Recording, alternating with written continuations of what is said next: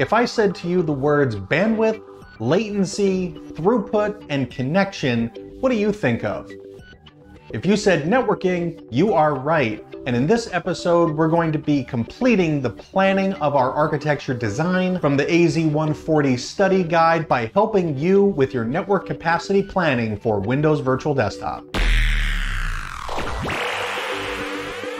I'm Dean Cefola, and this is the Azure Academy. Now, network capacity is defined as the amount of traffic that a network can handle at any given time. So in the case of WVD, there are multiple networks that are involved, so we're going to need to VLAN this discussion. There are three different networks and two services that we're going to talk about today in the area of WV capacity. So let's first just take 30 seconds so we're all on the same page with how WVD works. WVD uses something called Reverse Connect that allows your clients to connect over the public internet to the WVD service securely without the need of public IP addresses in Azure. Everything starts with the client authenticating to Azure Active Directory. And that's great because that means all the normal rules of Azure AD authentication apply, including conditional access and multi-factor authentication. Once your sign-in is complete, you'll receive an Azure AD token just like any other workload. And then when you go to connect to the service in your client, that token gets passed to the web access role inside the WVD service, which will then present you with the the list of remote applications and desktops that you are allowed to use. When you click on one of those icons to open that app or desktop, the token will be presented again to the service at the WVD gateway. That will then make a certificate for you and pass that onto your local system, and the gateway service will contact the host pool, find whatever session host is currently available for that workload, and make an outbound connection back to your client. With the connection complete, your remote application or desktop will open and you can get to work. So let's talk about where the clients come from, and we have three networks to consider. First is the internet. Then you may also have a point-to-site network or a client-based VPN. The third kind of network that's involved is your on-premise network, and that would be connected to Azure by a virtual WAN or an SD-WAN solution, site-to-site VPN, or an Azure ExpressRoute. Now, as I'm sure you know, the internet is the world's largest computer network, but I'm sure that you also know that the laws of physics don't change, right? So the further away your client is from your destination, the longer it takes to get there. If you had a client anywhere in the world and you wanted to get to a website, say that's in the US, and any one of these clients that are anywhere here in the world would have to travel over the internet, all the networks and routers and switches and all of that, in order to finally get to the destination of the web server and then the data has to travel all the way back in order to present you with the web page on your computer. And the further that you have to go means the longer it takes and the more chances that something could go wrong. So the issue in this case is not only the distance, but also the inefficiency and unpredictability of the path, because you're going over the internet and anything can happen anywhere in the world that makes a problem for your traffic. But also remember, the more hops, which is the different locations your traffic has to go through to get to its destination, means that there's more processing involved, which adds latency. So what if we could make the path shorter, more direct, or more efficient? That's why the WVD service is set up with points of presence all over the world, so that no matter where your client is, you should be relatively close to a WVD entry point. Now, once your data goes into that entry point, you're now on the Azure network which is much smaller than the global internet. So routing can be much more finely controlled, it can be more efficient, and there's less hops to get to your destination. And all of those connections over the internet are secured and encrypted, and don't forget about the reverse connection model. There is no inbound access into this environment apart from the WVD service. Now, of course, you've got people who are working from home or at a coffee shop or some kind of remote office location somewhere, and they may be using a client-based VPN, also known as a point-to-site VPN. And that's great, and WVD works in that scenario, but there are some things to think about. And first is latency. A VPN is encrypted, which means the data comes into the tunnel, it has to be encrypted, comes out the other end, it has to be decrypted.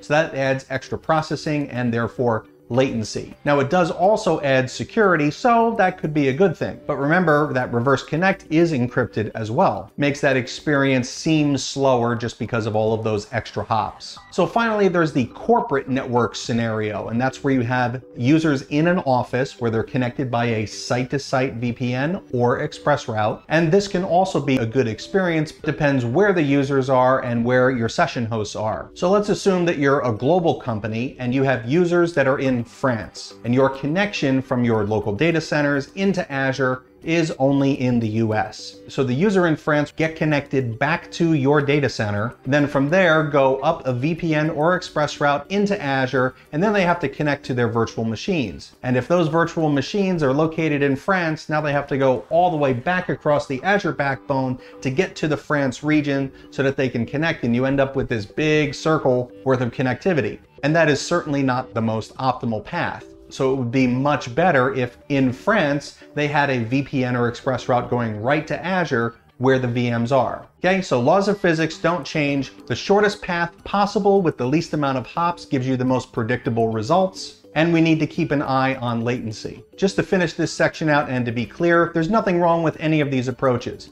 Internet, client VPN, site-to-site VPN, they will all work. It's just a matter of understanding the requirements and what the users are doing. So now let's switch gears slightly and talk about network performance and your workloads and how we can solve all the problems I just talked about. Now, how do we figure out latency? Let's say you're in a work from home scenario. You have a bunch of users who are in a bunch of different locations all around the world, and you want to figure out where best to put your session host so that they can have the lowest latency experience. Well, down in the video description, I have a resources section that has multiple links for documentation that I'm going to talk about that's going to address these issues. And one of them down there is the WVD Experience Estimator. When you go to the web page, it's going to calculate all of the different Azure regions latency from where you are. So you can see for me, the East US regions are the closest, so they have the lowest latency. So from my perspective, if my company is located in East US, I'd want to put my session host in the East US region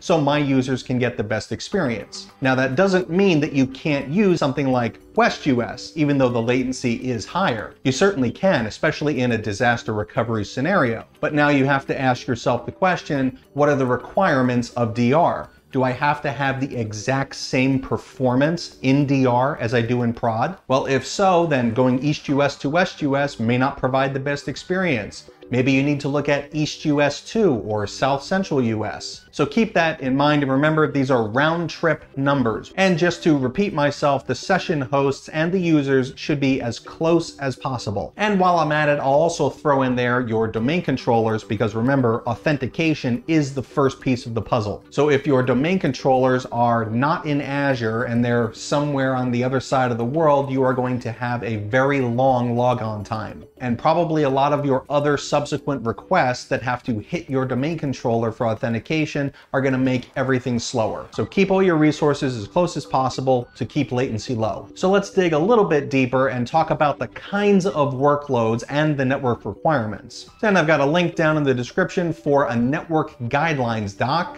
and in there, we've got a table for recommended bandwidth for certain workload types. Now, we covered what those workload types are and what they mean in our last episode. So if you missed that, go back and check that one out. And something to keep in mind with these workload types is your display resolution. And that just makes sense. If you're transmitting video data at 720p, you have far less network requirements than if you're doing it at 4K. But this also means for all of you work from home veterans that video conferencing will have a big impact. And that's why WVD supports Teams with AV redirection, but that's another episode, so be sure that you're subscribed and you've hit the notification bell so you don't miss out.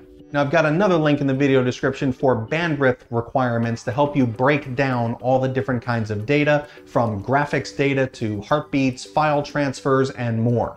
And what's really nice here is you don't really have to worry about any of this and manage it. You just need to be aware of it in your network planning because RDP is a protocol that's designed to adjust to these things on the fly. But thinking about the RDP protocol, I have a second service connection type to talk to you about, and this is our last thing for this episode, and that is an even more direct way to connect to WVD by something called RDP Shortpath. Now, as I'm recording this video, this feature is in preview, but if you remember all the way back to episode zero, I said when we looked at the skill sheet that commonly used preview features may appear on the test. Now, I do have a whole video digging deep on RDP Shortpath that you can go check out up here, so we're just gonna do a high level. Now, if you think back to that reverse connect that we talked about earlier, after your authentication process was finished, you got your list of applications from the WVD service. And then you had to go through the handing the token to the gateway to get the session host to make an outbound connection to your client. And RDP Shortpath steps in right there and allows you to connect more directly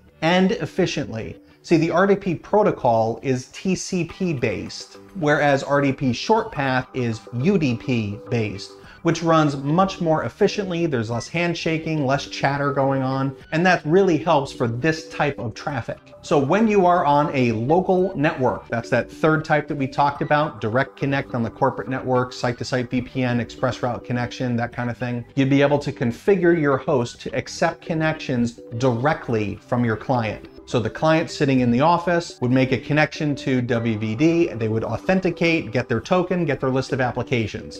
They go to open an app, their client machine would connect directly over your ExpressRoute to the session host over the UDP protocol. And all of this is still secured with certificates and TLS. Oh, so we've got five videos, three networks, and two connection models under your belt, and you should be able to successfully design a WVD architecture based on somebody's requirements. So click here if you want to dive deeper on RDP Shortpath with me, or you can click down here for the next episode in the AZ140 study guide, and we're going to talk about designing our user identities and profiles. Thanks for joining me, and I'll see you in that next episode. Happy learning.